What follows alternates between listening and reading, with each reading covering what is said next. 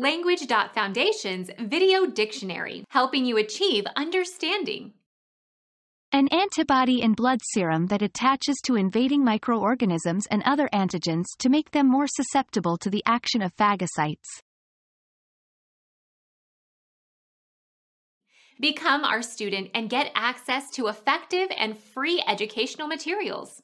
Subscribe to our channel to become a part of our growing community and to learn English effectively.